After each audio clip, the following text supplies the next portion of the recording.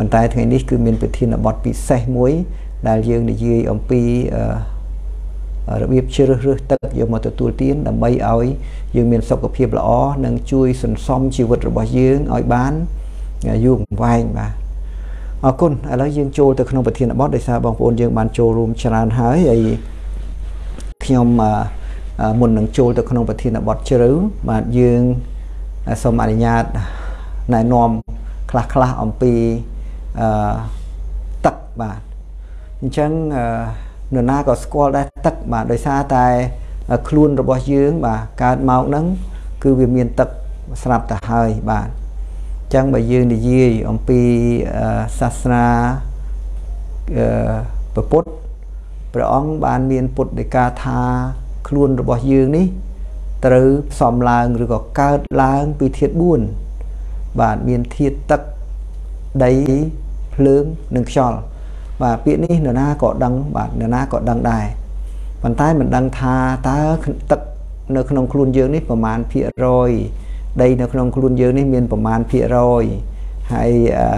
ភ្លើងមានប្រមាណបាទហើយខ្យល់នឹងមានប្រមាណថ្ងៃនេះយើងមិនបានកណនាប៉ុន្តែចង់ជម្រាបថាធាតុទាំង4នេះដើម្បីឲ្យមានជីវិតឡើងបានលុះត្រាតែវាមាន balance មានលំនឹងមានតុល្យភាពនឹងគ្នាបាទដែលកំណត់តាមបែបបទធម្មជាតិឯព្រះគ្រឹះក៏ព្រះអង្គបានមានបន្ទូលថាមនុស្សព្រះអង្គបានស្មូនចេញពីដីឥដ្ឋអញ្ចឹងបើយើងគិតពីសាសនាពីរនេះផ្សេងគ្នាប៉ុន្តែបើយើងយកទ្រឹស្ដីទឹកនេះមកនិយាយគឺដូចគ្នាបាទអញ្ចឹងព្រះអង្គបានស្មូនមនុស្សចេញពីដីឥដ្ឋ មានន័យថាបើយើងនិយាយអំពីដីឥដ្ឋគឺដីដែលមានសំណើមបានហៅថាដីឥដ្ឋបាទបើដីនៅរឹងអានឹងមិនមែនដីឥដ្ឋទេបើទៅដីដុំអញ្ចឹងដីដែលមានសំណើមគឺជាដីឥដ្ឋព្រះអង្គថាអញស្មុនឯងចេញពីដីឥដ្ឋអញផ្លុំខ្យល់នឹងហើមឲ្យឯងរស់អញ្ចឹងនៅពេលដែលយើងនិយាយអំពីដីឥដ្ឋដីឥដ្ឋគឺមានទឹករួចស្រេចទៅហើយបានធ្វើឲ្យដីនឹងសើមព្រះអង្គស្មូនរូបរាងដោយព្រះអង្គរួចហើយព្រះអង្គបានផ្លុំខ្យល់បញ្ចូលទៅក្នុងច្រមុះ អាដាមបាទបានឲ្យមានជីវិតទៅអញ្ចឹងកាលណាផ្លុំខ្យល់ទៅខ្យល់មានអុកស៊ីហ្សែននឹងឯងហើយមាន ទឹកទៅជាមួយអញ្ចឹងបានយើងយកកញ្ចក់មកដាក់មុខយើងមើលយើងផ្លុំមើលយើងឃើញកញ្ចក់ពណ៌ស្អាតបាទអញ្ចឹងហើយសម្រាប់អឺមនុស្សរស់បាន អាស្រ័យទៅលើធាតុ4នេះបាទអញ្ចឹងយើងទៅដឹងថាធាតុ4នេះរស់បែបម៉េចបាន បើសិនជាគ្មានធាតុ4នេះទេជីវិតនឹងមិនមានទេបាទនៅលើផែនដីនេះអញ្ចឹងថ្ងៃនេះខ្ញុំនិយាយអំពីទឹកបាទប្រធានបទទឹកប៉ុន្តែមិនមែនទឹកធម្មតាគឺចំណេះជំនាញអំពីរបៀបស្វែងរកនិងជ្រើសរើសទឹករបៀបណា ដែលយើងយកមកទទួលទានឲ្យយើងនេះទទួលបានសុខភាពល្អបាទសុខភាពល្អហើយជាទូទៅបងប្អូនយើងកន្លងមកយើងអត់និយាយទេ ដោយសារស្ថានភាព នយោបាយស្ថានភាពប្រទេសជាតិបាទបត់បែនច្រើនចំនួនបើដូចចំនួនពលពតអីយើងមិនដឹងទៅរកឯណាទេប្រទេសអីញ៉ាំដឹងហើយទាំងខ្ញុំទាំងអីបាទទឹកដានជើងគោទឹកនោមគោទឹកអីហ្នឹងក៏ចេះតែញ៉ាំទៅបាទទៅខ្វៀលគោខ្វៀលអីហ្នឹងចំនួនហ្នឹងយើងអត់មានទេប៉ុន្តែឥឡូវនេះយើងអត់និយាយពីរឿងហ្នឹងយកមកផ្សារភ្ជាប់ជាមួយនឹងជីវិតរស់នៅប្រចាំថ្ងៃរបស់យើងទៀតឡើយពីព្រោះយើងបានកន្លងផុតមកយូរហើយហើយយើងត្រូវចេះអាប់ អភិវឌ្ឍបាទអាប់ដេតអីអភិវឌ្ឍខ្លួនយើងបាទផ្សារភ្ជាប់ជាមួយនឹងសេដ្ឋកិច្ចពិភពលោកហើយយើងក៏មានចំណេះដឹងច្រើនផ្នែកហ្នឹងយើងចែករំលែកគ្នាដើម្បីជាប្រយោជន៍ឲ្យបានដល់បងប្អូនយើងដែលគាត់អត់ទាន់បានយល់ដឹងពេលខ្លះគាត់រវល់ជាមួយនឹងការងារប្រចាំថ្ងៃពេកគាត់រវល់ជាមួយនឹងកិច្ចការផ្សេងផ្សេងហើយមិនបានយកចិត្តទុកដាក់ទៅលើបញ្ហានេះទេ ប៉ុន្តែមានអ្នកខ្លះមានចំណេះដឹង មានពេលវេលា មានលទ្ធភាពប៉ុន្តែគាត់នៅតែអត់បានពិចារណាទៅលើរបៀបនៃការជ្រើសរើសទឹកយកមកទទួលទាននេះបាទអរគុណឥឡូវយើងត្រឡប់មកវិញបាទសូមស្វាគមន៍ណាបងប្អូនយើងបានចូលច្រើនឡើងច្រើនឡើងបាទអាតាមពិតទៅថ្ងៃនេះយើងនិយាយអំពីទឹកអញ្ចឹងសរុបមកវិញគឺទឹកនៅក្នុងខ្លួនរបស់មនុស្សនេះ មានចំនួន បរិមាណនៅក្នុងខ្លួនម្នាក់ម្នាក់បើយើងយកទឹកយើងពូតយកទឹកចេញមកបាទខ្លួនយើងមានទឹក75%បាត់ទៅហើយបាទអញ្ចឹងដែលយើងមានមៀតមានមានមៀតរឹងមាំមើលឃើញមៀតធំមៀតតូច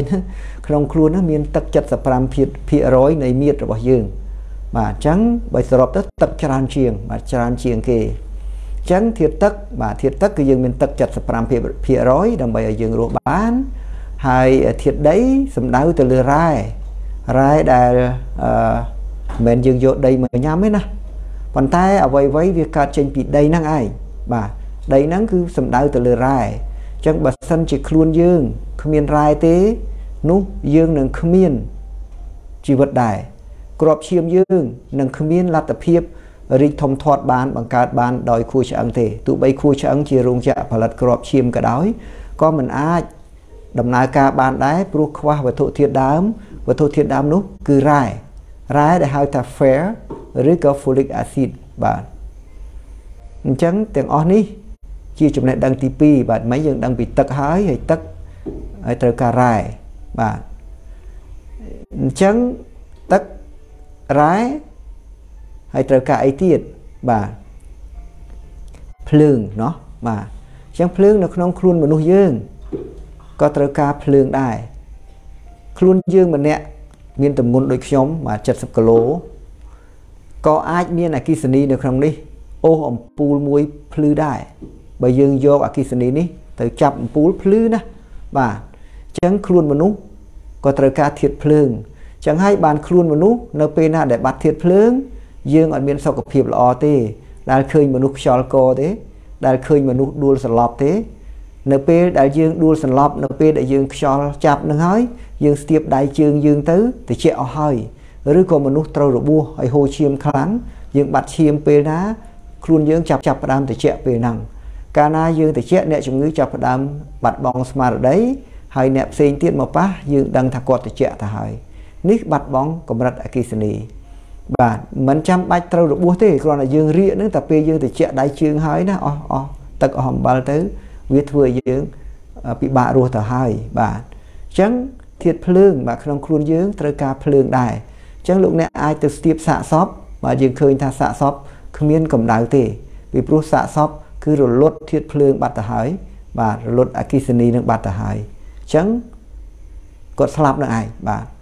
អញ្ចឹងខ្យល់បាទខ្យល់យើងសំដៅថា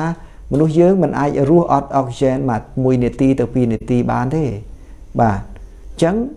ខ្យល់គឺត្រូវការជាប្រចាំអញ្ចឹងទឹកដីភ្លើងនិងខ្យល់ត្រូវមាន balance នឹងគ្នាបើសិនជាខ្យល់ច្រើនពេកក៏ពិបាករស់បើសិនសិនជារាយច្រើនពេកវាលើសជាតិដែកគេហៅឡើង ferritin ប្រសិនបើទឹកច្រើនពេកវាទៅជាហើមបាទបើថាភ្លើងច្រើនពេកវាទៅជាក្តៅអញ្ចឹងខ្លួនយើងនេះ គឺជាម៉ាស៊ីនស្វ័យប្រវត្តិមួយ ដែលបង្កើតឡើងពីព្រះ ដែលបង្កើតឡើងពីធម្មជាតិបាទឡើងមកបាទអញ្ចឹងខ្លួនយើងនេះមានសភាពស្វ័យប្រវត្តិបាទរស់នៅក្នុងបរិយាកាសស្វ័យប្រវត្តិប្រសិនបើកន្លែងនឹងក្តៅយើងទៅកន្លែងក្តៅខ្លួនយើងនឹងបំលែងសីតុណ្ហភាពក្នុងខ្លួនយើងឲ្យត្រជាក់បើសិនជាយើងទៅកន្លែងដែលត្រជាក់ខ្លួនយើងនឹងរៀបចំសីតុណ្ហភាពនឹងឲ្យក្តៅបាទក្នុងខ្លួនយើងដូច្នេះខ្លួនយើងគឺជាម៉ាស៊ីនស្វ័យប្រវត្តិមួយ ដែលយើងមិន អឺមិនអាចគ្រប់គ្រងទេអាហ្នឹងវាធ្វើខ្លួនឯងតែម្ដងបាទតែបើវាធ្វើអត់បានយើងអាចជួយវាន័យថាយើងទៅតំបន់ធ្លាក់ទឹកកកយើងខ្លួនយើងបង្កើតកម្ដៅឲ្យมันគ្រប់គ្រាន់យើងត្រូវប្រើអាវធំធំធំប្រើអីមកមកបាំងខ្លួនយើងដើម្បីឲ្យកម្ដៅដែលបង្កើតហ្នឹងកុំឲ្យបំភាយចេញប៉ុន្តែបើសិនបើយើងអត់មានកម្ដៅខ្លួនយើងទោះបីប្រើអាវក្រាស់1ម៉ែត្រក៏ដោយក៏អត់បានដែរក៏អត់រស់ដែរ ពីព្រោះខ្លួនយើងអត់បានបង្កើតកម្ដៅអញ្ចឹងកុំច្រឡំថាពេលយើងទៅតំបន់ទឹកកកមកពីអាវធំនឹងទេបានយើងអត់ចាញ់ទៅក៏មិនមែនទេមកពីខ្លួនយើងមានសីតុណ្ហភាពខ្លួនឯងកម្ដៅបង្កើតចេញមកវាទប់ជាមួយនឹងកណាត់ឬក៏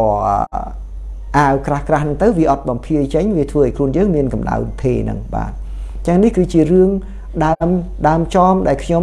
ជ្រើសរើសប្រធានបទនេះយកមកជម្រាបជូនដល់បងប្អូនយើងនៅក្នុងរាត្រីនេះ ឲ្យបានយល់ថាប្រយោជន៍នៃការជ្រើសរើសទឹកមកហ្នឹងគឺមានប្រយោជន៍ចឹងហើយរៀលដាលទៅដល់ធាតុទាំង3ទៀតប៉ុន្តែខ្ញុំចង់និយាយអំពីជីវិត គ្រប់អ្នកវិទ្យាសាស្ត្រទាំងអស់សំបីតែអឺអ្នកវិទ្យាសាស្ត្រចំនួនពុរេប្រវត្តិក៏នៅតែនិយាយថាទឹកគឺជាប្រភពនៃជីវិតដែរហើយឥឡូវនេះក៏រកទៅឃើញថាទឹកគឺជាប្រភពនៃជីវិតដែរអញ្ចឹងទាំងអស់នេះ យើងត្រូវយកមកមកសិក្សាស្វែងយល់ស្រាវជ្រាវដើម្បីឲ្យបានចំណេះដឹងយកទៅចែកចាយគ្នាបន្ត ថាតើទឹកជាប្រភពនៃជីវិតនេះ មិនថាតែយើងទេរុក្ខជាតិសត្វទាំងអស់តែយើងមានចំណេះដឹងមួយដែលយើងអាចជ្រើសរើសថាធ្វើត្បិតតែធម្មជាតិឲ្យទឹកជាជីវិតមែនក៏ប៉ុន្តែយើងត្រូវប្រើចំណេះដឹងរបស់យើងនេះដើម្បីស្វែងរកថាទឹកធម្មតា និងទឹកដែលយើងជ្រើសរើស តើមួយណាដែលយើងគួរយកមកប្រើយកមកទទួលទាន ដើម្បីឲ្យយើងកាន់តែមានសុខភាពល្អឲ្យយើងកាន់តែមានអាយុវែងបាទអញ្ចឹងបើសិនបើយើងអត់បានដឹងទេយើងប្រើធម្មតាទៅបាទមិនអីទេគ្រាន់តែយើងរស់បាទបើយើងញ៉ាំសម្រាប់រស់អូខេយើងញ៉ាំរស់បានប៉ុន្តែបើញ៉ាំសម្រាប់ឲ្យយើងមានសុខភាពល្អនិងអាយុវែងវាអាចជួបហានិភ័យបាទជួបហានិភ័យខ្លះ បច្ចុប្បន្ននេះគ្រាន់តែទឹកនឹងថាយើងត្រូវការទឹកប្រមាណនៅក្នុងខ្លួនយើងហ្នឹងមួយថ្ងៃហ្នឹងអត់អត់មានគេហៅថារូបមន្តត្រូវគ្នាផងបាទភាកច្រើនអ្នកខ្លះថា1លីត្រអ្នកខ្លះថា2លីត្រអ្នកខ្លះថា3លីត្រអ្នកខ្លះថា4លីត្រអ្នកខ្លះថា5លីត្រស្រេចតែនឹកឃើញនាំគ្នាថាអញ្ចឹងខ្ញុំចង់និយាយថារបៀបដែលយើងកណនាយើងត្រូវធ្វើម៉េចហើយរបៀបដែលយើងជ្រើសរើសយើងត្រូវធ្វើយ៉ាងម៉េច បាទជ្រើសរើសយើងមើលទៅលើអីខ្លះដែលយើងយកមកទទួលទានអញ្ចឹងថ្ងៃនេះនឹងចូលទៅក្នុងប្រធានបទហើយខ្ញុំនឹងឆ្លើយសំណួរលោកអ្នកដែលបានចូលរួម comment និងសួរខ្ញុំនៅក្នុងអឺ Facebook ឬក៏នៅក្នុង page របស់យើងបាទ comment ប៉ុន្តែខ្ញុំនឹងនឹងឆ្លើយតបភ្លាមភ្លាមតែតែម្ដងណាបាទខ្ញុំអត់ទុកយូរទេពីព្រោះនៅក្នុង page ខ្ញុំសូមអធិស្ឋានឆ្លើយមិនតាន់ព្រោះខ្ញុំសរសេរយឺតបាទនៅក្នុងច្រើនគ្នាពេកអញ្ចឹង ខ្ញុំឆ្លើយផ្ទាល់ផ្ទាល់នៅពេលដែលចុងកម្មវិធីបាទអញ្ចឹងសម្រាប់លោកអ្នកដែលមានសំណួរអាចត្រៀមមកហើយទៅហើយសរសេរចូលមកក្នុងអឺ comment របស់យើងខ្ញុំនឹងឆ្លើយតបនៅចុងកម្មវិធីបាទអរគុណឥឡូវនេះយើងចូលមកប្រធានបទរបស់យើងវិញបាទសួរថាទឹកដែលយើងជ្រើសរើសត្រូវកំណត់របៀបណាណោះបាទធ្វើម៉េចដើម្បីយើងជ្រើសរើសទឹក យកមកទទួលទានឲ្យមានសុខភាពល្អហ្នឹងហើយយើងត្រូវកំណត់របៀបណាតាមពិតទឹកមានច្រើនប្រភពមានច្រើនប្រភេទសូម្បីតែទឹកសុទ្ធដែលយើងផលិតរាល់ថ្ងៃហ្នឹងបាទមានច្រើនម៉ាកច្រើនប្រភេទច្រើនតម្លៃបាទមានទឹកខ្លះបើខ្ញុំនិយាយលោកអ្នកប្រហែលជាមិនជឿខ្ញុំទេបាទមានមានទឹកខ្លះ1លីត្របាទមួយដបទឹកញ៉ាំណាអាចថ្លៃជាងស្រាដែលលោកអ្នកធ្លាប់ដឹង បាទទឹក1លីត្រមានរហូតដល់ទៅ10 10000ដុល្លារបាទថ្លៃជាងឡានមួយក៏មានដែរទឹកញ៉ាំណាបាទមានតម្លៃដល់ហ្នឹងបាទបន្ទាប់មកមាន60000មាន200មាន300មាន100មាន50 60ដុល្លារអញ្ចឹងទៅ បាទថ្ងៃក្រោយខ្ញុំនឹងបង្ហាញថាតើទឹកហ្នឹងហេតុអីបានវាថ្លៃហេតុអីបានវាថ្លៃហើយចុះទឹកយើងញ៉ាំខ្វះអីមិនក៏វាមិនមានតម្លៃដូចទឹកហ្នឹង តើគេយកប្រាក់ដ៏ច្រើនទៅទិញទឹកនឹងមកញ៉ាំតើគេសំដៅទៅលើអ្វីបាទអញ្ចឹងថ្ងៃនេះយើងនិយាយអំពីរបៀបជ្រើសទឹកប៉ុន្តែមិនមែនថាអីខ្ញុំនិយាយហ្នឹងឲ្យបងប្អូនយើងយកប្រាក់ដែលសន្សំបានទៅទិញទឹករបៀបហ្នឹងយកមកទទួលទានទេប៉ុន្តែខ្ញុំចង់និយាយថាទឹកដែលមានកម្រិតល្អបាទមានកម្រិតល្អមានអីខ្លះហើយមិនបានវាថ្លៃបាទ វាចូលទៅក្នុងខ្លួនយើងវាធ្វើអីខ្លះបានឲ្យតម្លៃទឹកហ្នឹងដល់ថ្នាក់នោះបាទយើងសូម្បីតែខ្ញុំរកមកជីវិតហ្នឹងមិនទាន់បាន100000នោះទៅទិញទឹកអត់បាន1លីត្រផងណាអញ្ចឹងហើយនេះយើងទាំងអស់គ្នាយើងសិក្សាទៅបាទកាលណាយើងដឹងបាទប្រសើរជាងយើងអត់ដឹងយើងចេះចេះជ្រើសរើសវាប្រសើរជាងយើងមិនចេះកន្លែងហ្នឹង អញ្ចឹងថ្ងៃហ្នឹងដើម្បីជ្រើសរើសទឹកដែលអឺយកមកទទួលទានញ៉ាំហ្នឹងណាឲ្យមានសុខភាពល្អនិងមានអឺអាយុយឺនយូរបានទឹកប្រភេទណាទៅណោះមើលលោកអ្នកអាចសរសេរមកថាទឹកប្រភេទណាដែលយើងគួរតែជ្រើសយកទទួលទានបាទអញ្ចឹងសំណួរខ្ញុំសួរក៏ខ្ញុំឆ្លើយខ្លួនឯងដែរបាទ អឺសំណួរដែលសួរថាតើយើងគួរជ្រើសរើសទឹកប្រភេទណាដែលយើងយកមកទទួលទានគឺទឹកណាដែលមានកម្រិតរ៉ែបាទទឹករ៉ែទឹករ៉ែហ្នឹងរ៉ែអីគេរ៉ែដែករ៉ែមាសរ៉ែស្ពាន់មិនមែនទេរ៉ែជារ៉ែដែលអឺមានសារៈសំខាន់សម្រាប់សុខភាពបាទចឹងហើយបានទឹកដែលថ្លៃថ្លៃគឺគេយកវាទៅ វិភាគរកមើលថាតើរ៉ែដែលរ៉ែកម្រដែលមានប្រយោជន៍សម្រាប់សុខភាពហ្នឹងអឺមានកម្រិតប្រមាណដែលវាសមមាត្រជាមួយនឹងខ្លួនយើងដែរបើវាលើសក៏វាធ្វើឲ្យយើងមានបញ្ហា បើវាខ្វះក៏ធ្វើឲ្យយើងមានបញ្ហាដូច្នេះខ្ញុំណែនាំទឹកដែលមានរ៉ែហើយទឹកដែលមានកម្រិត pH ឬក៏ pH បាទ pH ឬក៏ pH បាទមក pH ឬក៏ pH ហ្នឹងមកពីពាក្យថាអឺ potential hydrogen បាទអញ្ចឹងអា pH និង pH នេះវាជាຂະຫນាតមួយសម្រាប់វាស់បាទកម្រិតអឺសំណើមនៅក្នុងបរិយាកាសក្នុងដី ក្នុងទឹកក្នុងដីដែរបាទក្នុងខ្លួនយើងដែរខ្លួនយើងក៏មាន pH នៅក្នុងដីក៏មាន pH នៅក្នុងទឹកក៏មាន pH អញ្ចឹងអ្នកដែលចិញ្ចឹមត្រីគេតែងយកឧបករណ៍ទៅវាស់មើលថា pH ទឹករបស់គេស្ថិតនៅក្នុងកម្រិតណាដែលអាចត្រីរស់បានអត់អញ្ចឹងណាបើសិនជា pH ទាបត្រីនឹងដកដង្ហើមជួយផងជួយផងនៅលើនោះអត់អត់អត់នៅក្នុងទឹកបានទេបាទអញ្ចឹងត្រូវកែ pH វាឲ្យខ្ពស់ដើម្បីឲ្យឲ្យវាមាន balance ដើម្បីត្រីដកដង្ហើមបានយើងដាំដំណាំក្នុងដីយើងតែយកឧបករណ៍ទៅវាស់ pH ទឹក pH ដីបាទតើ pH ហ្នឹងអឺ កម្រិតណា បើ pH ហ្នឹងវាវាទៀបវាចុះមកទៀបអញ្ចឹង pH ដែលគេសម្គាល់វា បាទពី6ទៅ7ដែលជា pH ល្អជា neutral វាជាជាជា nerd មួយនៅកន្លែងហ្នឹងដែលយើងអាចរស់បានបើសិនជាវាទៀបជាង6អាហ្នឹងគេហៅអាស៊ីតបាទអាស៊ីតវារៀងស្មុគស្មាញតិចលោកអ្នកបាទប៉ុន្តែខ្ញុំបញ្យល់ព្រោះបងប្អូនយើងស្ដាប់យូរគង់តែយល់ទេបាទបើវាចុះទៀបជាងហ្នឹងគេហៅអាស៊ីត ហើយបើវាលើសពី7ទៅគេហៅអាកាឡាញឬហៅអាកាឡាងហ្នឹងបាទសួរថាអាស៊ីតមានប្រយោជន៍អីអាកាឡាងមានប្រយោជន៍អីអឺ neutral មានប្រយោជន៍អីទាំងអស់ហ្នឹងវាសុទ្ធតែមានប្រយោជន៍បាទប្រសិនបើវាចុះទៀបមែនតើពេលហើយវាទៀបមែនតើអាហ្នឹងអាស៊ីតពេលដែលអាស៊ីតនឹងឯង បើវាទៀបមែនតើទៅក៏វាយកទៅប្រើសម្រាប់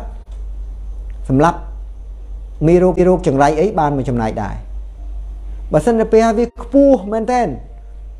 វាក៏មានវាផុតវានេះវាផុតណឺតទៅក៏វាមានអតិពលទៅសម្លាប់មេរោគបានមួយចំណែកដែរប៉ុន្តែយើងមិនរស់បានទេបាទយើងមិនរស់បានទេអញ្ចឹងបើដីអាស៊ីតយើងដាំអីមិនសូវល្អទេព្រោះអត់អាចចាប់យកសារជាតិចិញ្ចឹមបានអញ្ចឹងឥឡូវបើនិយាយពីទឹកយើងវិញ បើទឹកយើងទាប pH ទាបមែនតើយើងប្រើអត់បានទេវាអាស៊ីតយើងញ៉ាំអត់បានទេអត់មានសុខភាពល្អទេ វានឹងคล้ายទៅជា molecule ធំបាទទឹកដែលមានអាស៊ីតយើងវាស់ទៅឃើញវាធ្លាក់ចុះ pH វាទាបមែនតើវាអត់មានផ្ដល់ប្រយោជន៍ដល់ជីវិតឲ្យយើងទេអាស៊ីតហ្នឹងគឺ molecule ធំបើយើងយកមកញ៉ាំបានប៉ុន្តែវាអត់ចូលទៅក្នុងខ្លួនយើងទេវាអត់ធ្វើគេថា metabolic ឬក៏ absorb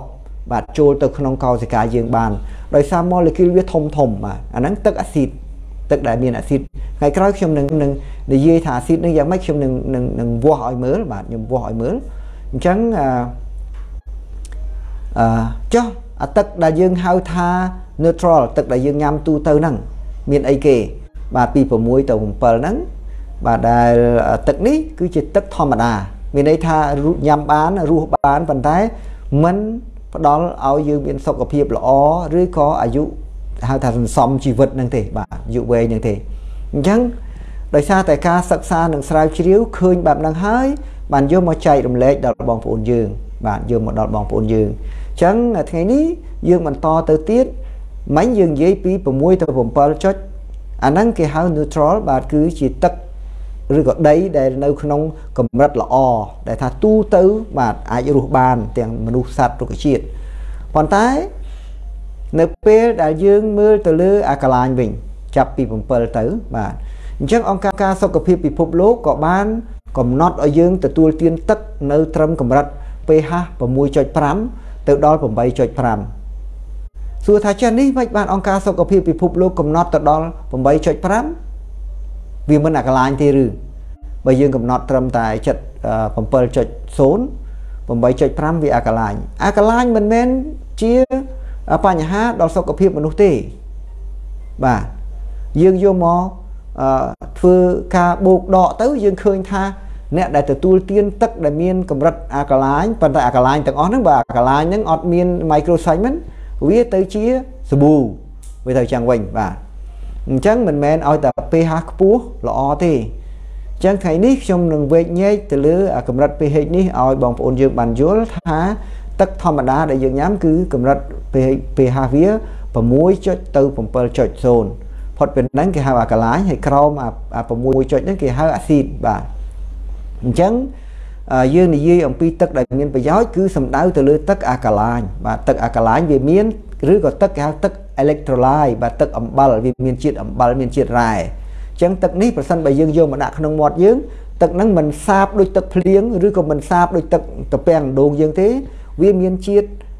ភ្លាវអំបិលបាទដែលយើងអាចដឹងបានបាទអញ្ចឹងបងប្អូនយើងតេស្តនឹងមាត់ដឹងតែភ្លាវប៉ុន្តែមិនទាន់មានសវត្ថភាពទេតើតែគេយកវាទៅធ្វើតេស្តទៅពិសោធន៍ទៅដកយកសារជាតិរ៉ែដែល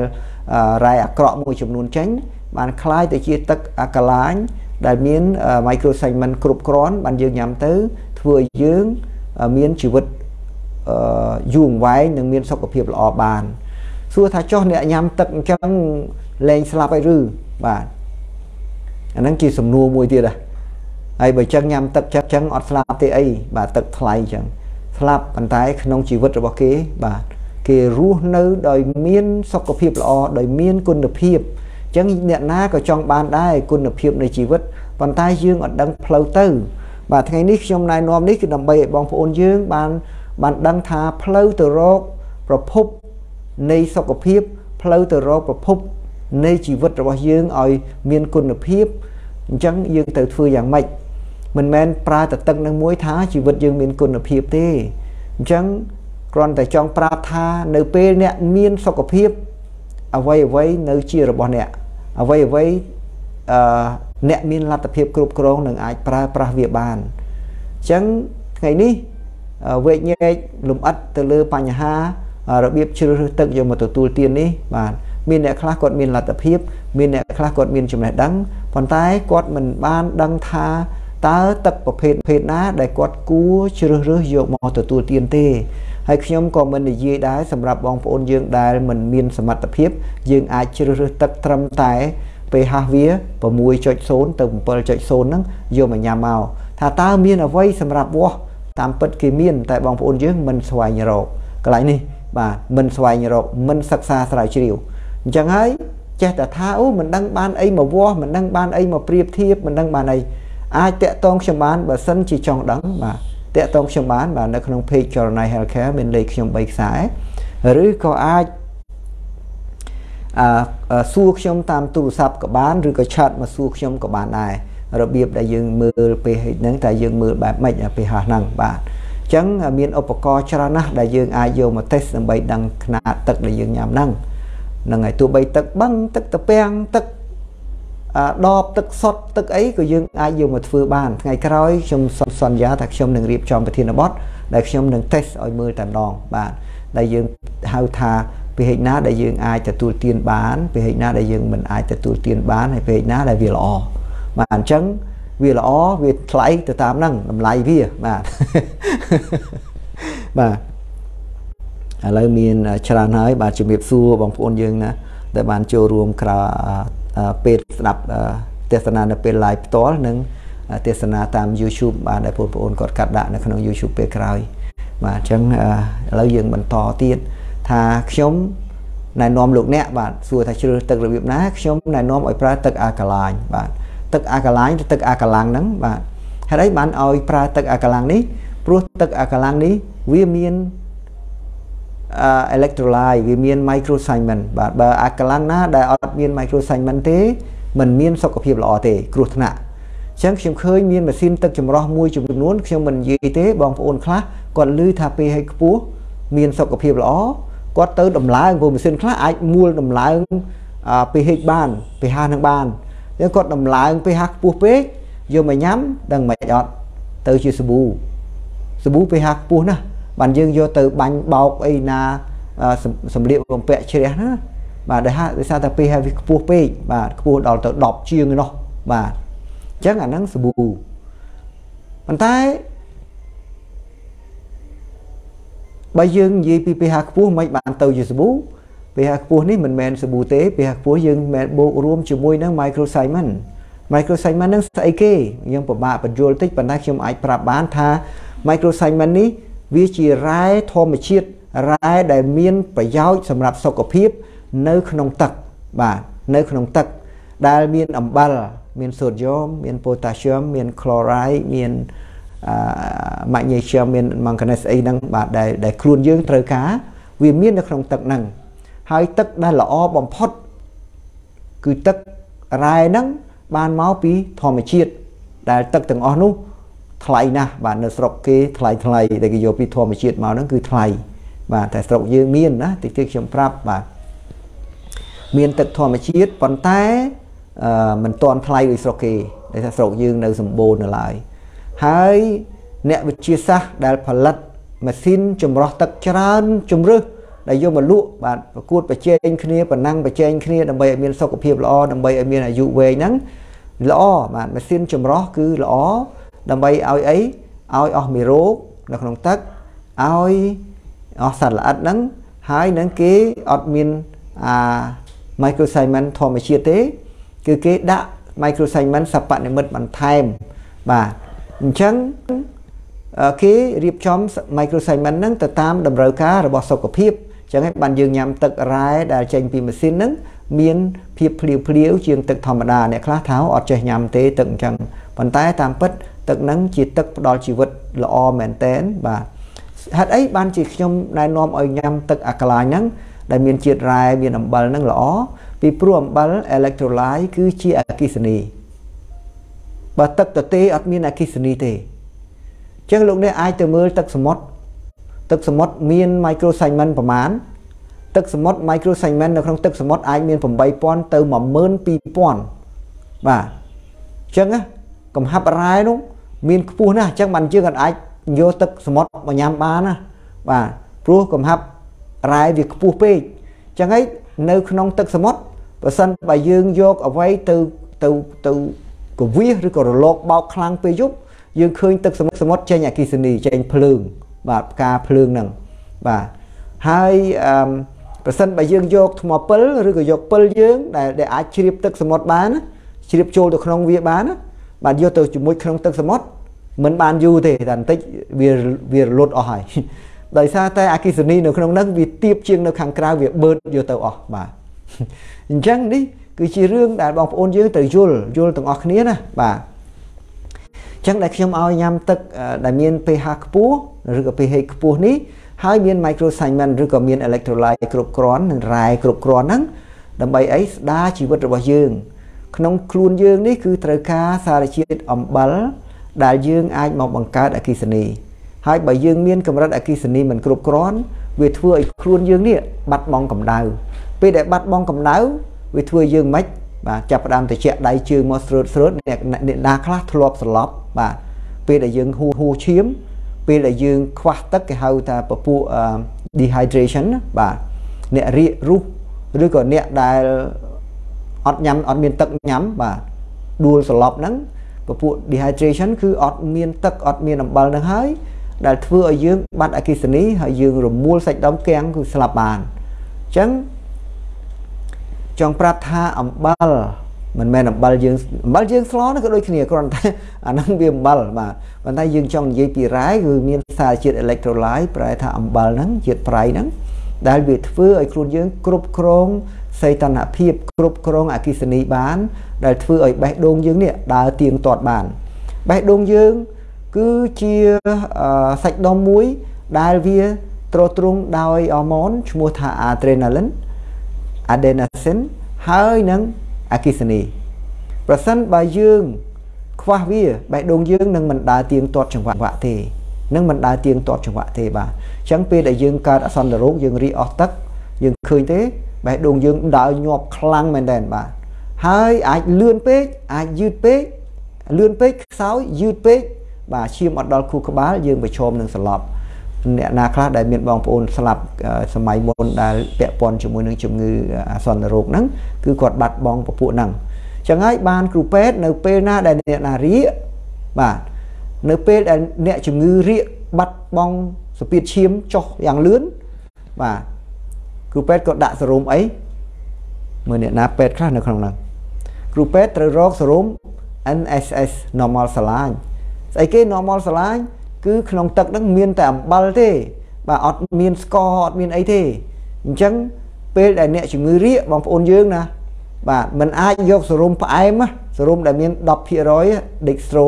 W10 10%នឹងបានទេ5%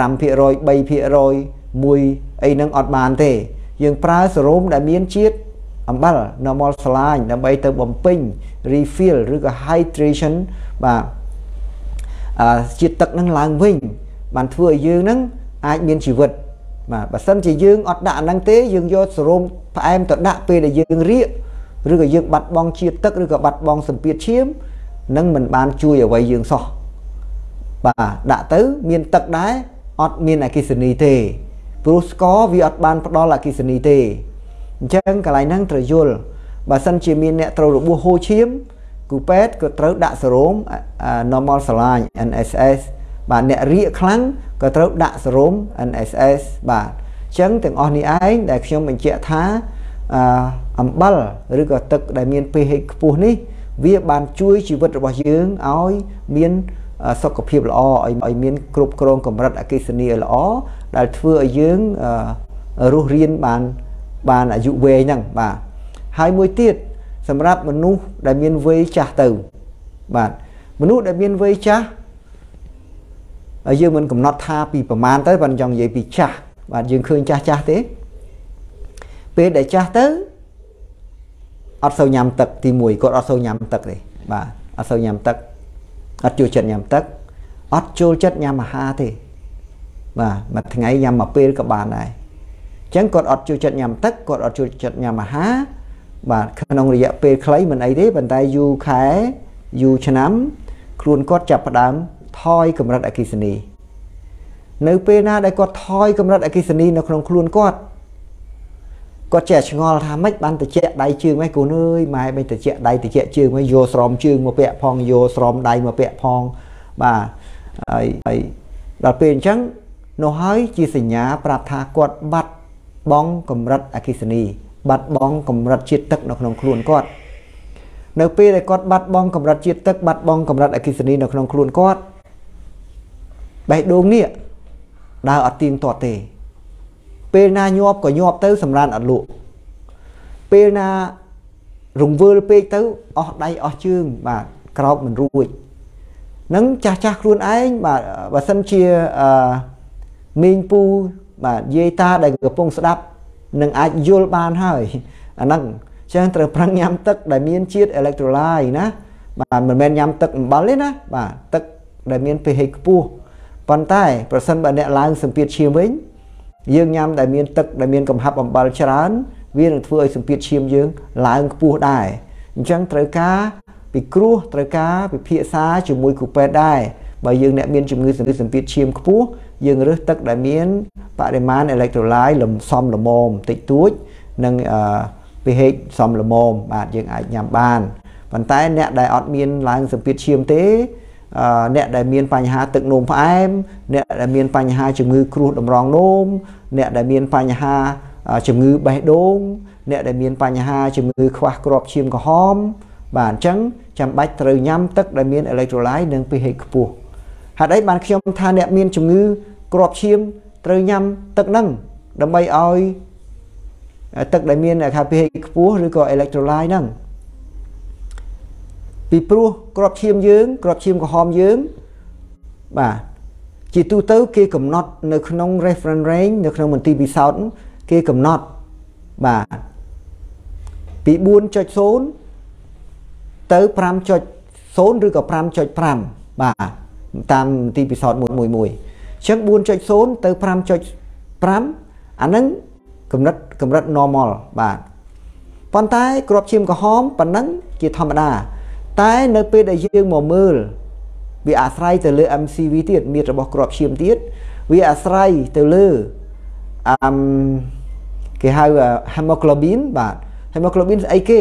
hemoglobin គឺជាក្របឈាមដែលមានភាពពេញលេញមានភាពពេញវ័យ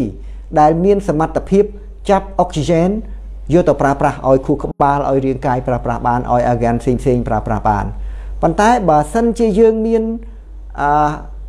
red blood cell គេហៅក្របឈាមក្រហមហ្នឹងទៀបឧទាហរណ៍ថាយើងមានត្រឹម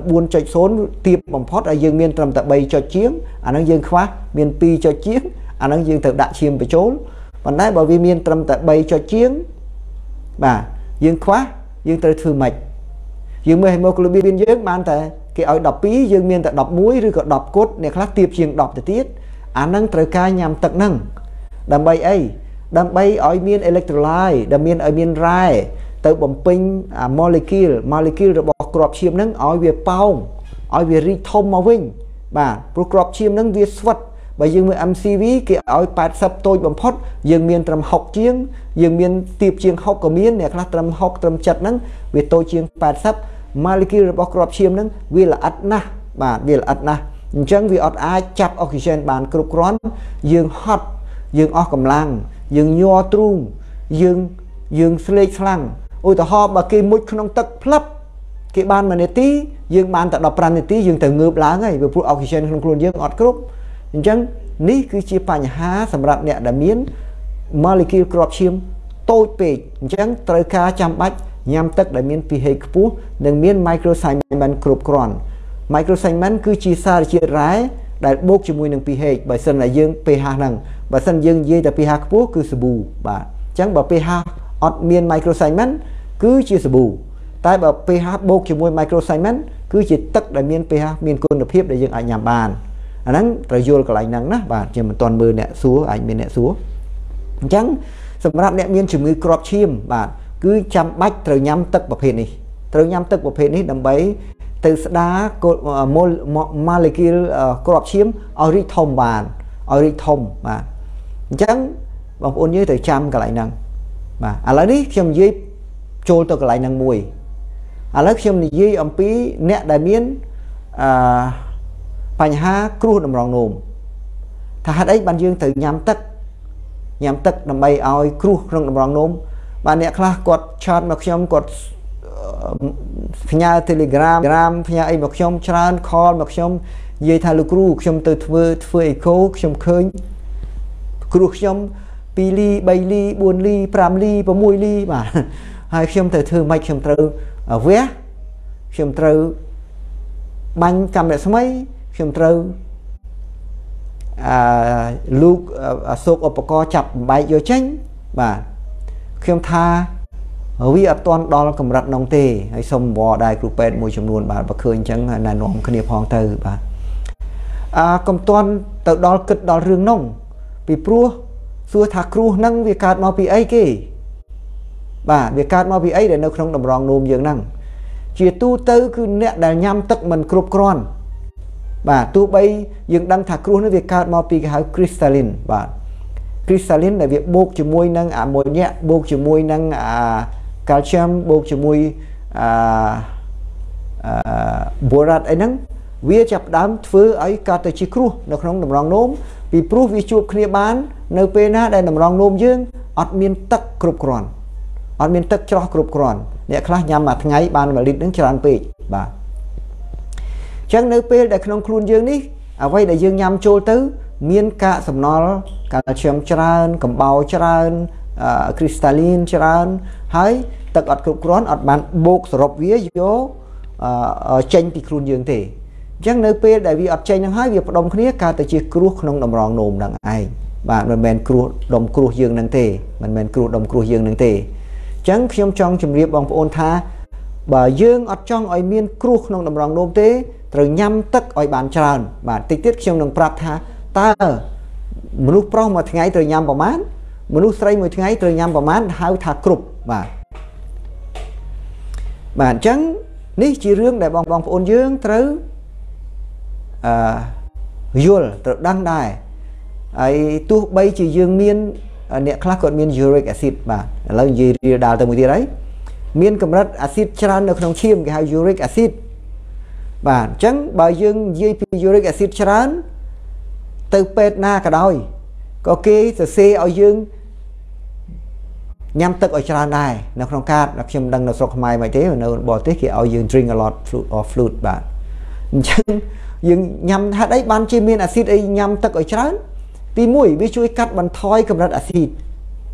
បាទទឹកហ្នឹងដោយសារវាមានអីប៉ុន្តែទឹកនេះយើងត្រូវជ្រើសរើសទឹកដែរណាទឹកដែលមាន pH ខ្ពស់ណា បាទដើម្បីអី pH ខ្ពស់មាន microcycline គ្រប់គ្រាន់ molecule វាតូចហើយយើងត្រូវជ្រើសរើសទឹកដែលមាន pH ខ្ពស់ប៉ុន្តែ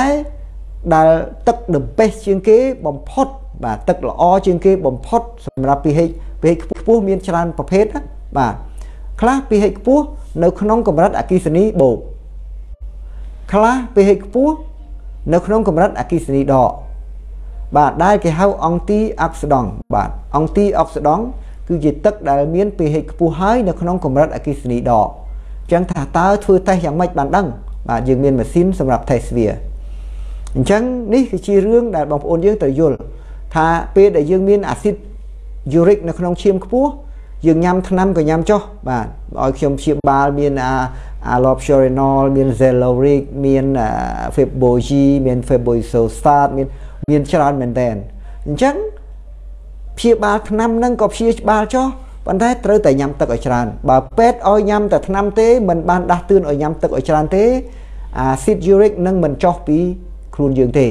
បាទមិនចុះទេបាទញ៉ាំថ្នាំហើយនៅដដែលបាទអញ្ចឹងញ៉ាំទឹកឲ្យច្រើនសម្រាប់សម្រាប់អ្នកដែលមានគ្រោះតម្រងនោមអ្នកដែលមានអាស៊ីតយូរិកនៅក្នុងឈាមបាទ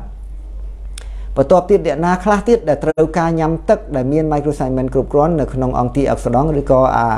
អា microcycline គ្រប់គ្រាន់ពីហេតុខ្ពស់ហ្នឹងអញ្ចឹងអ្នកដែលមានជំងឺទឹកនោមផ្អែម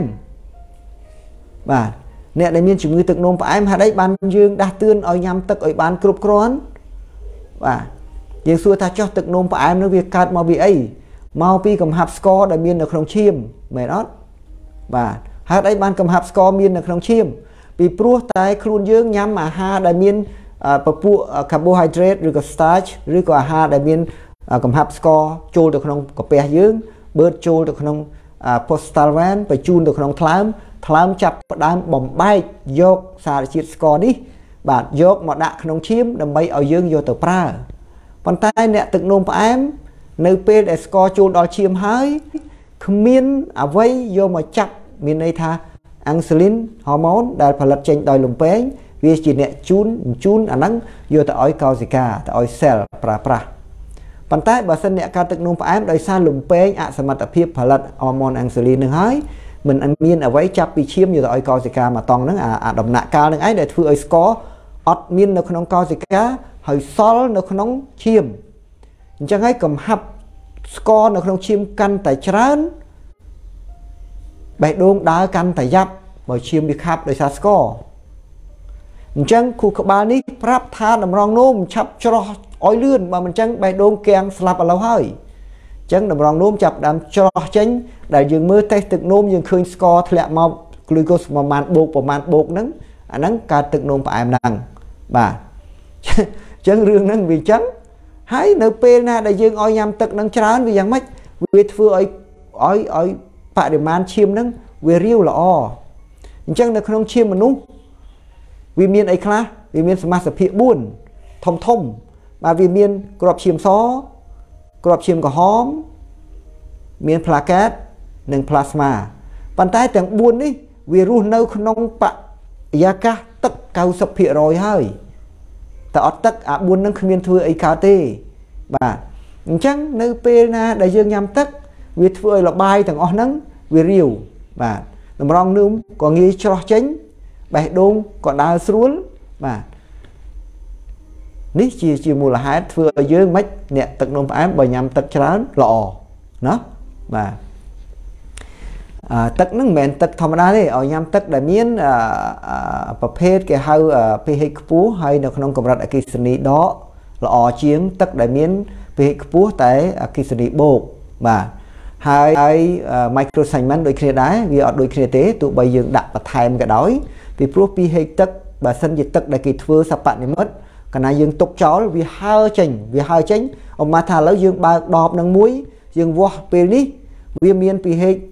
9បាទបើយើងទុកវាមួយថ្ងៃពីរ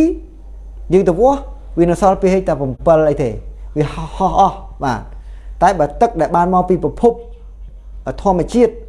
pH ដែលបានមកពីប្រភពធម្មជាតិវាអត់ហើទេយើងបើកទុកយ៉ាងណាក៏វាអត់ហើដែរនេះគ្រាន់តែជាការប្រៀបធៀបបាទរវាង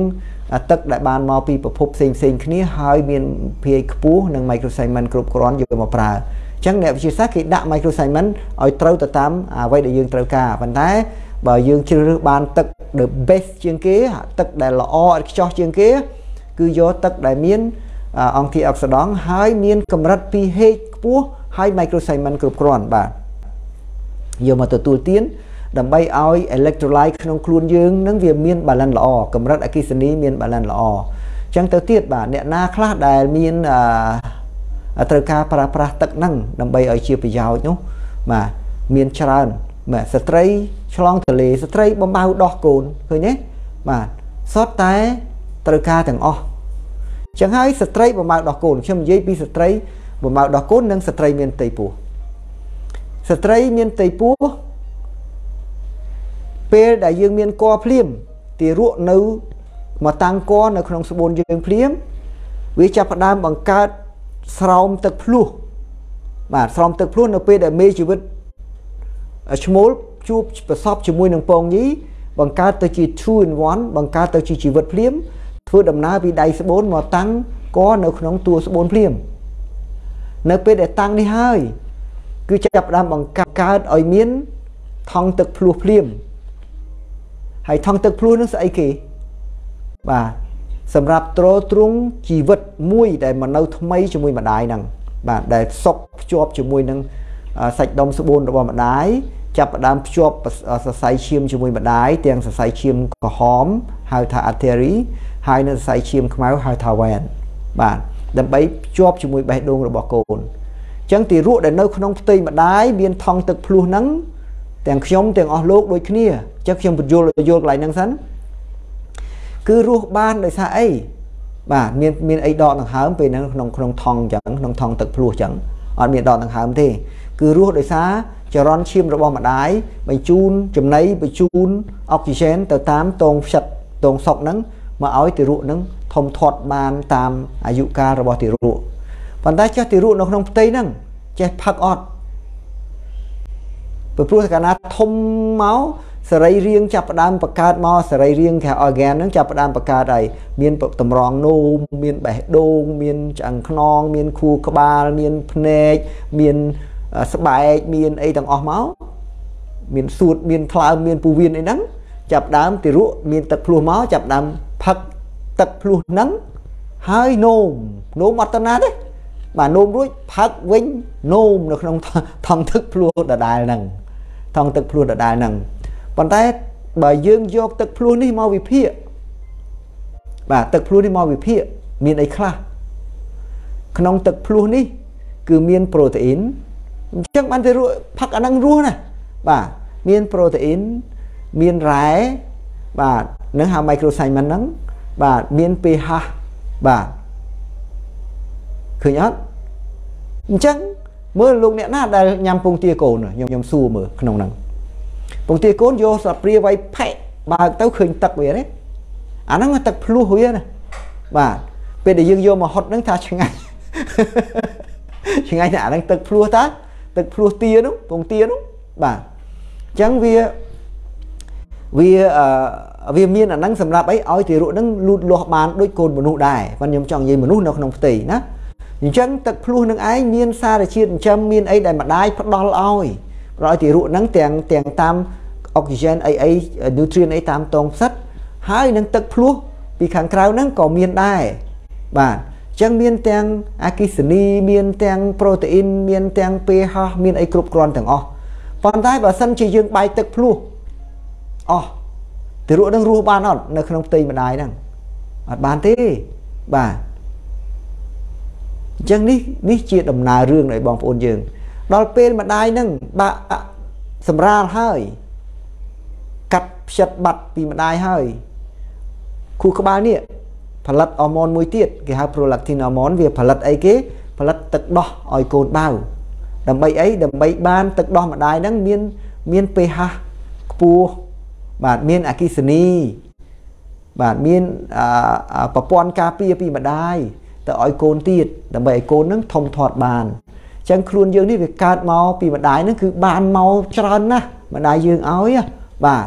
ដើម្បីឲ្យយើងរស់បានអញ្ចឹងទាំងអស់ហ្នឹងសុទ្ធតែយល់ដឹងបាទអញ្ចឹងស្ត្រីដែលមានទេពោះឲ្យញ៉ាំឲ្យគ្រប់គ្រាន់ឲ្យសម្រាកញ៉ាំទឹកឲ្យគ្រប់គ្រាន់ ញ៉ាំអាហារឲ្យគ្រប់គ្រាន់ញ៉ាំជាតិដែកឃើញទេទៅពេទ្យបាន fair បានអីដើម្បីអីដើម្បីបំពេញឲ្យ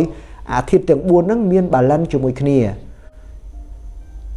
ហើយបើសិនជាគាត់បំបៅកូនមួយថ្ងៃកូនបៅប្រមាណគាត់គាត់ត្រូវញ៉ាំទឹកឲ្យបានគ្រប់គ្រាន់ហើយបើញ៉ាំទឹកដែលមាន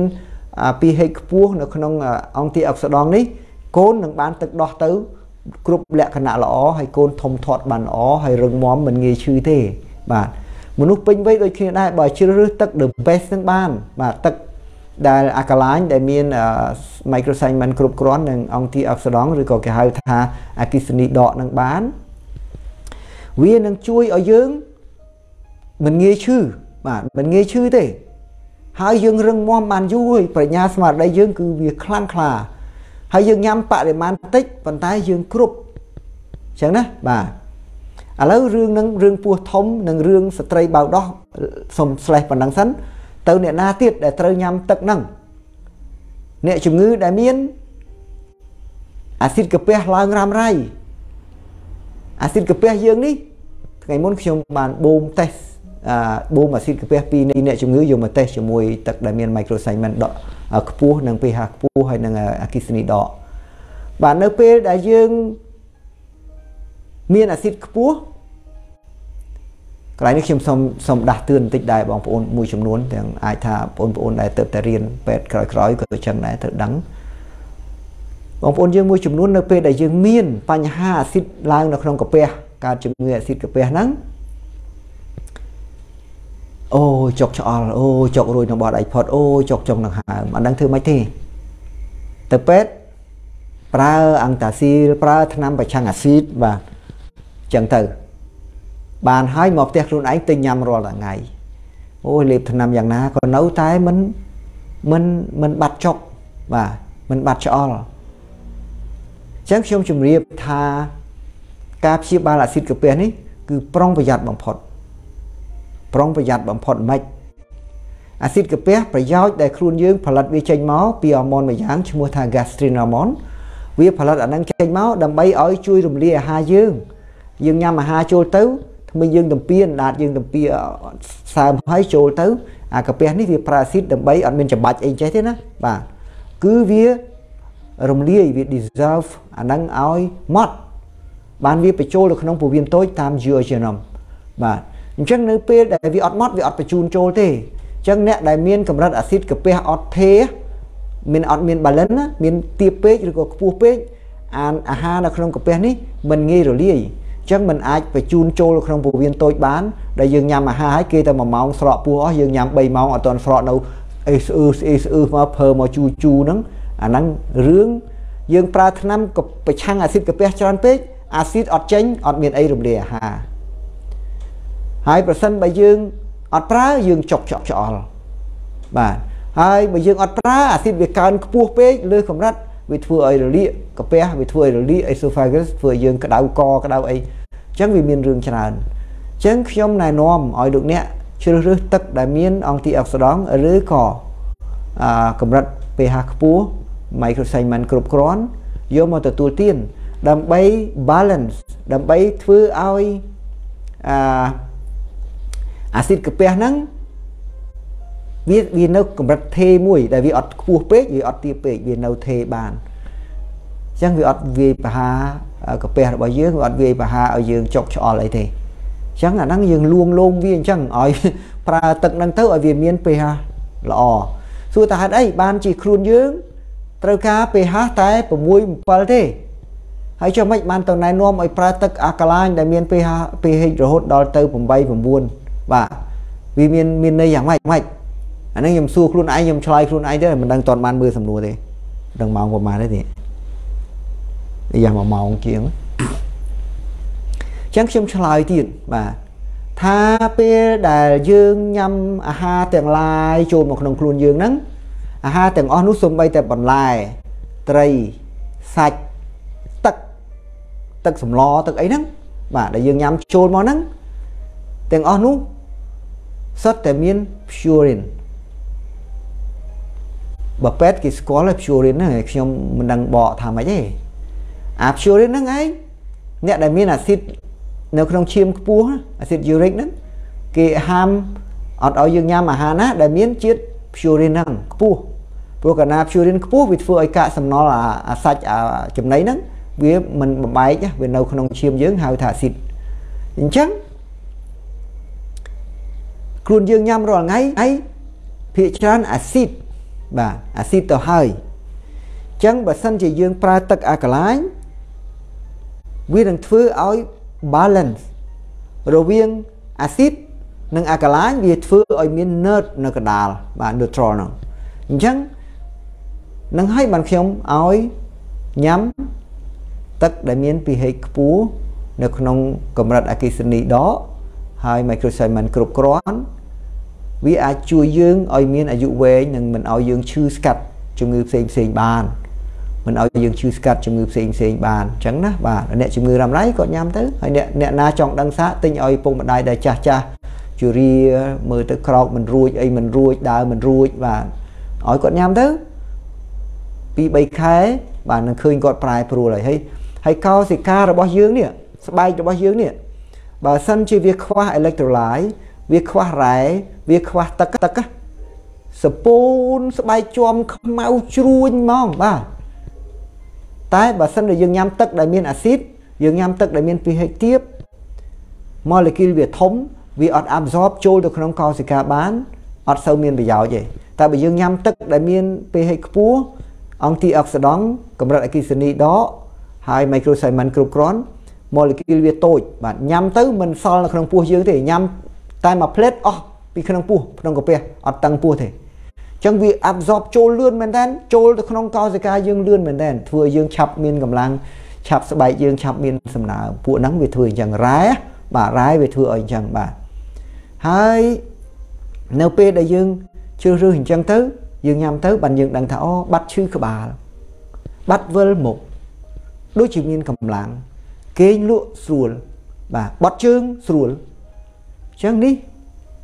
រឿងដែលលោកអ្នកត្រូវគិតគិតបាទ ពេលដែលយើង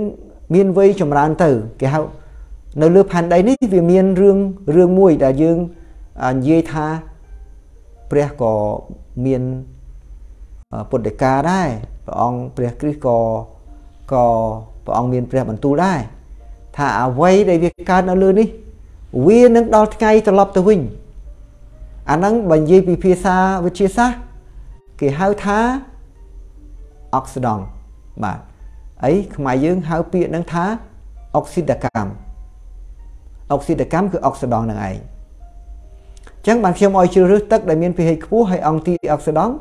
គឺចង់ប្រាប់ថាប្រឆាំងជាមួយនឹងអាភាពរិចរិលហ្នឹងទាំងកោសិកាខ្លួនយើងបើយើងមើលពីក្រៅទៅពេលខ្លះឃើញរឹងមាំមែនស្បែក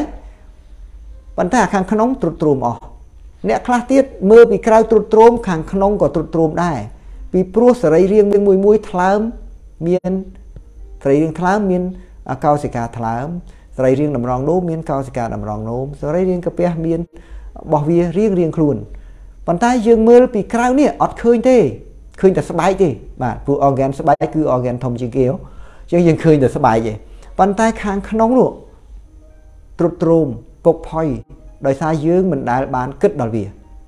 បាទចង់លាបលេលាបក្រែមលាបអីនឹងតាក្រៅទេ បាទអាខាងក្នុងមិនដែលគិតទេបងប្អូនចេះជ្រើសរើសទឹកយកមកទទួលទានហ្នឹងគឺប្រើទឹកដែលមានប្រភពច្បាស់លាស់មាន pH ខ្ពស់មាន microcycline គ្រប់គ្រាន់ ជាប្រភេទអង់ទីអុកស៊ីដង់ហើយមានកម្រិតអគ្គិសនីដកនឹងធ្វើឲ្យលោកអ្នកមានសុខភាពល្អបាទមានសុខភាពល្អកន្លែងហ្នឹង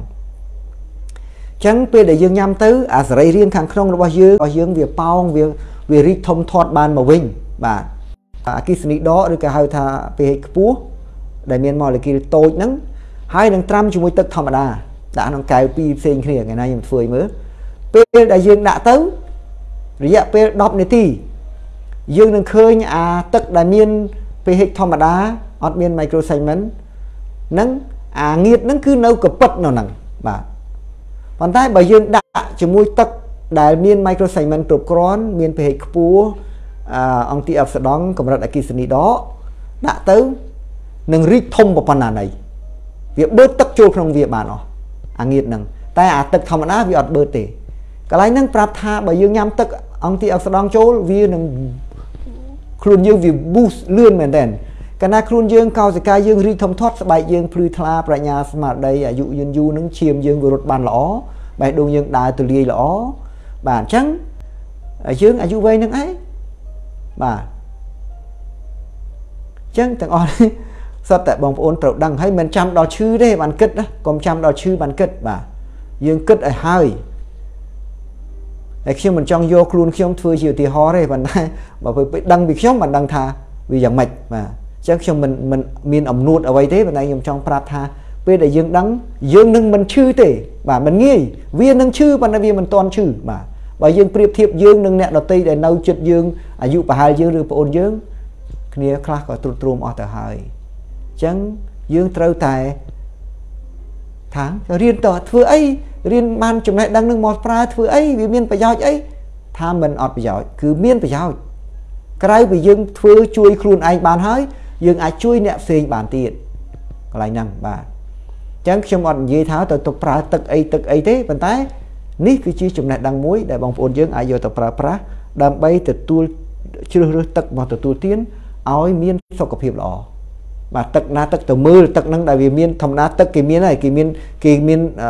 brand name គេមានសរសេរស្អីស្អីនៅក្នុងហ្នឹងហើយ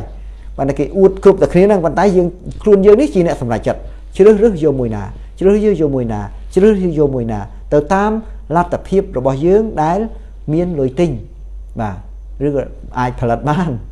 បាទចម្រោះទឹកមួយចំនួន ដែលអ្នកវិទ្យាសាស្ត្រដំបូងគេផលិតមកអូច្រោះទៅស្អាតណាស់បាទមិនប្រកាសថាទឹកដែលបានចេញពីចម្រោះមកមានសុខភាពល្អទាំងអស់គ្នាទេកាលណាយើងប្រើទឹកចម្រោះដែលច្រោះស្អាតបំផុតអត់មានមេរោគមែន ក៏វាច្រោះអារ៉ែដែលមានប្រយោជន៍ហ្នឹងចោលអស់ដូចគ្នាយើងញ៉ាំតែទឹកតទេខ្លួនយើងមិនអាចត្រូវការទឹកតទេនឹងទេមិនត្រូវការតែទឹកតទេទេ វាត្រូវការរ៉ែមួយចំនួនដើម្បីយកមកអឺជួយអ្នកខ្លះដែលអនុវត្តអត់គ្រប់ហើយអ្នកណាខ្លះអនុវត្តបានគ្រប់បាទខ្ញុំជឿថា90%នៃបងប្អូនយើងមិនបានអនុវត្តតាមក្បួនខ្នាតគ្រប់ត្រឹមត្រូវនឹងទេអញ្ចឹងបើអត់ទេយើងទៅស្ដាប់ហើយយើងទៅធ្វើទៅហើយក៏មិនមែនថាខ្ញុំនិយាយហ្នឹង ឲ្យត្រូវទាំងអស់ដែរប៉ុន្តែ ជាឯកសារជាការស្រាវជ្រាវ ជាការសិក្សាអស់រយៈពេលយ៉ាងយូរបាទបានយើងយកមកចែករំលែកអញ្ចឹងទឹកសម្រាប់ដែលយើងញ៉ាំណាគ្រាន់តែញ៉ាំមិនមែននិយាយពីរឿងទឹកងូតទេណាទឹកដែលយើងញ៉ាំពីព្រឹកបាទនិយាយរួមគឺ24ម៉ោងបាទ24ម៉ោងសម្រាប់បរោះសម្រាប់បរោះយើងញ៉ាំ3លីត្រកន្លះទៅ3លីត្រចុច 3លីត្រ7វាជិត4លីត្របាទ24ម៉ោងកុំគិតមួយថ្ងៃមួយថ្ងៃពីព្រឹកដល់ល្ងាចមែនទេណា24ម៉ោងបាទអញ្ចឹង24ម៉ោងយើងអាចញ៉ាំទឹកឲ្យគ្រប់គឺ3លីត្រចុច7ញ៉ាំ4លីត្រក៏បានដែរបើសិនយើងធ្វើការយើងលេងកីឡាឲ្យហត់ខ្លាំងនឹងសម្រាប់រស់បាទអ្នកណាខ្លះញ៉ាំគ្រប់អ្នកណាខ្លះញ៉ាំអត់គ្រប់អញ្ចឹងលើកដៃហើយបើសិនជាបងប្អូនយើង ជាស្ត្រីវិញញ៉ាំប្រមាណឲ្យគ្រប់24ម៉ោងបាទគឺមិញបរោះ3.7អញ្ចឹងស្ត្រីទៀបជាង1លីត្រ24ម៉ោងគាត់អាចញ៉ាំត្រឹមតែ2.7បានមានន័យថា2លីត្របាទ2លីត្រហើយ700មីលីលីត្រទៀតបាទជិត3លីត្រដែរអញ្ចឹងទឹកនេះត្រូវទេបើសិនជាយើងធ្វើអីហត់ឬក៏ក្រោមកម្ដៅថ្ងៃ យើងអាចញ៉ាំលើសនឹងគុណ1ឬក៏2ទៀតបាទបានខ្លួនយើងគ្រប់គ្រាន់សួរថាអីបានទឹកហ្នឹងបើកណនីទៅឃើញច្រើនម្ល៉េះវាជ្រៅតែច្រើនពីព្រោះយើងដកដង្ហើមត្រូវការទឹកយើងដកដង្ហើមខ្យល់ចូលមកក្នុងខ្លួនយើងនេះមិនមែនខ្យល់ហ្នឹងចូលមកក្នុងសួតយើងបានទេចំោះយើងនេះមានរុនតូចតូចតូចតូចតូចតូចរូមហ្នឹងសម្រាប់ផ្សើមខ្យល់នឹងហើយបានបញ្ចូលទៅក្នុងសួតយើងបានអញ្ចឹងរាល់ពេលដែលយើងដកដង្ហើមចេញចូលហ្នឹងគឺត្រូវការទឹកទាំងអស់បាទយើងមើលអុកស៊ីហ្សែននៅក្នុងមន្ទីរពេទ្យពេលដែលគ្រូពេទ្យបើកអុកស៊ីហ្សែន2 3 4 5គីឡូបញ្ចូលក្នុងអ្នកជំងឺអុកស៊ីហ្សែនចេញពីដបមកត្រូវចូលទៅក្នុងទឹកបានបំផុសពីទឹកបានយកទៅចូលក្នុងច្រមុះរបស់អ្នកជំងឺបើមិនអញ្ចឹងទេវាខ្លោចនេះអស់បាទអញ្ចឹងវាត្រូវការទឹកណាស់បាទត្រូវការទឹកខ្ញុំនិយាយនេះក៏ត្រូវការទឹកដែរបាទសំទោសញ៉ាំទឹកមួយសិន ស្ងួតហើយបាទស្ងួតកអញ្ចឹងអឺ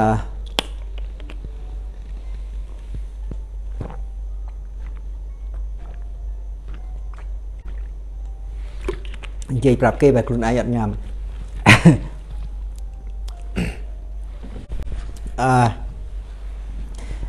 យើងដកដង្ហើមក៏ត្រូវការទឹកបាទស្បែកយើងជាមួយនឹងកម្ដៅក៏ត្រូវការទឹកបាទអញ្ចឹង ខ្លួនយើងច្រោះជាតិពុលកាកសំណល់ចេញក៏ត្រូវការទឹកហើយបើសិនជាយើងញ៉ាំទឹកអត់គ្រប់យើងសួរថាខ្លួនយើងយ៉ាងម៉េចដែរអត់ស្រួលតែហ្មងបាទឈាមរត់ក៏មិនស្រួល បាទនោមក៏មិនស្រួលបត់ជើងធំក្តៀនបាទអញ្ចឹងណាបាទ